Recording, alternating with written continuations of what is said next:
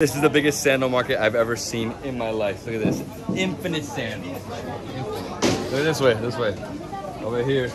So many. I don't think they're all Iraqi. Some of them, most of them say made in China, but there's some unique cool styles, right? Just doesn't end. Look over here, over here. Cool yellow ones. Nice. That's a knockoff. doesn't end, right?